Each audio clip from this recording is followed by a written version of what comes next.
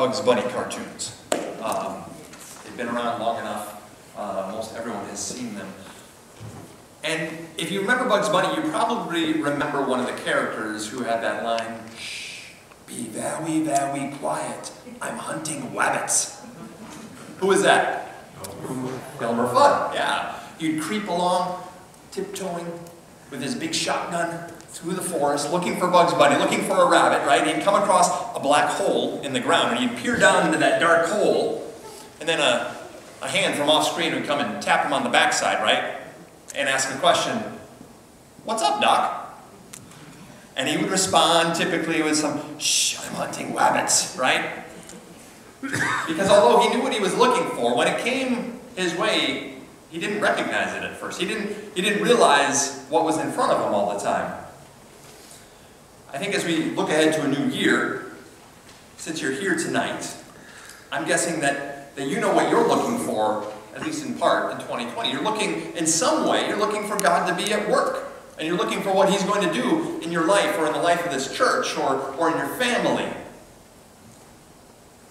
So, my question to you as we move into this message is where are you looking for God to show up in 2020?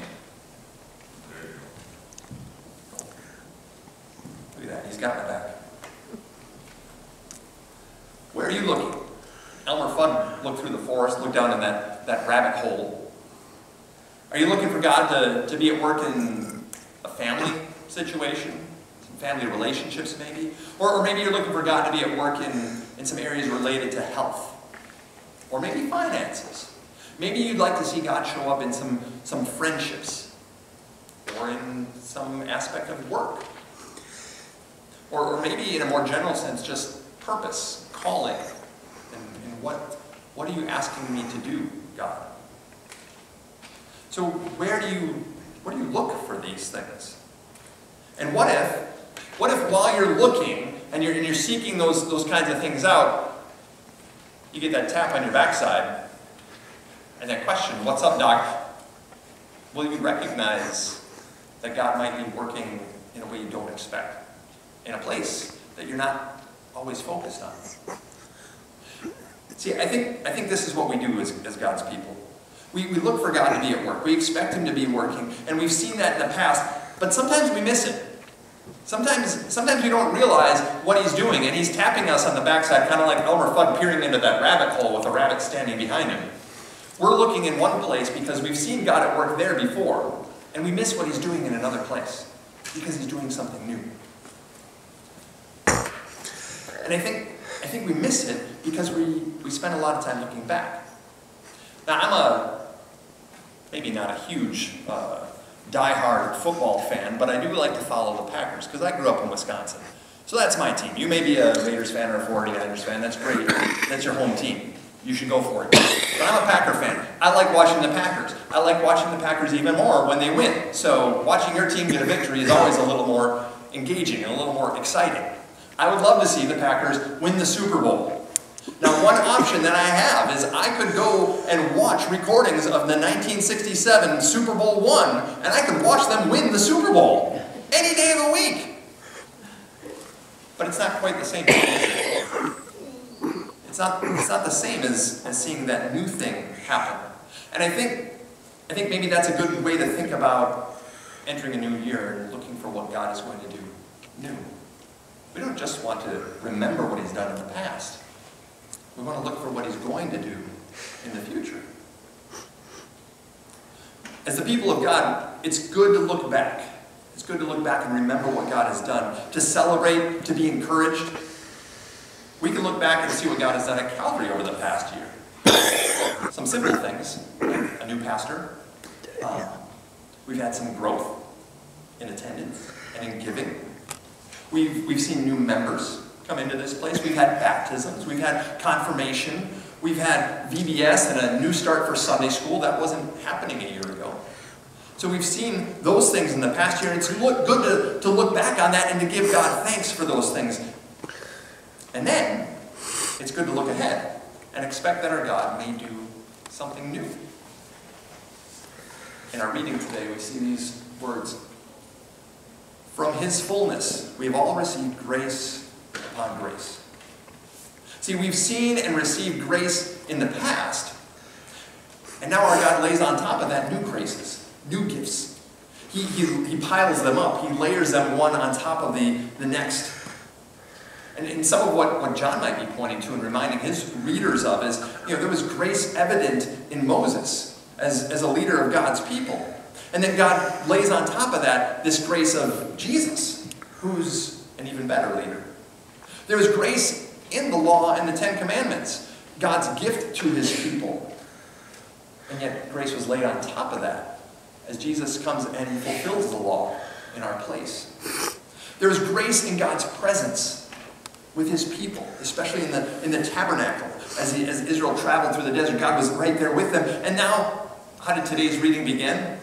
These, these words, the Word became flesh, and the word there is tabernacle, dwelt among us. And so there's a new presence of God that we know in Jesus, that he lays on top of this, this former gift, and he lays something else on top of it as Jesus comes. And then, even beyond that, Jesus sends his Holy Spirit, and, and it's another grace laid on top of that still. See, here's, here's the thing. We would be, I think, we would be remiss to build a tabernacle because we wanted to seek out the presence of God. And you know that. We're not trying to recreate the temple of of the Old Testament era, or the tabernacle as Israel wandered through the, the wilderness, we'd, been, we'd be mistaken to expect that God can only do things one way. And he has to repeat that again for us. Mean, that's even why we can let go of the Bibles that are stacked up in front of us this evening. These, I mean, these books have, have carried the message of God's grace. They've shared that message and they've, they've spread that message among us and among people who've gathered here in homes and in this church. But the books themselves are not really the gift. They're the carriers of the gift. And they are, they are one way that God has given us a gift, and we can expect that God's going to lay another grace on top of this. He's going to continue to share his gifts with us. And this is what we see in Jesus. See, we, we see grace as we look back on his birth, on his life, on his death, and his resurrection. We look back and we see grace in his teaching and his miracles. We see grace in the way that he interacted with others, the way that he lifted them up. We see grace in his appointing apostles to share the message of his life, his death, his resurrection, of all he's done, to share that with us. And today, in the present time, we look around and we see grace in his sending the Holy Spirit to be with us, to dwell among us, to, to work within us. We see grace in the faith that He's given us, the identity that He forms in us in our baptism. We see grace in the forgiveness and the life that He offers in, in His body and blood. He lays that on top of what was there already. And we look ahead. We look to the future and we can expect that there will be new grace laid on top of this in His calling for us in 2020. New grace laid on top of these and the work that He has lined up for us to do. New grace laid on top of these things and the doors that He will open for Calvary. And we can look further ahead and fully expect and anticipate that there is a new grace that will be laid upon, laid on top of these in our resurrection.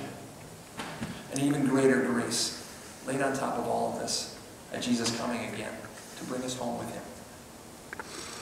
See, we can count on God's grace to continue. We can count on his gifts to be given again in 2020. We can count on him to lay new graces on top of the old. Jeremiah the prophet wrote, His mercies are new every morning. So we look back at 2019 and we see God's grace. We look ahead to 2020 and we expect a new grace. So don't be surprised if you're looking in one place and God taps you on the backside with that, what's up, Doc? kind of expression. And you turn and you find out and He's laying new grace on top of old. Amen. Would you please stand for the decommissioning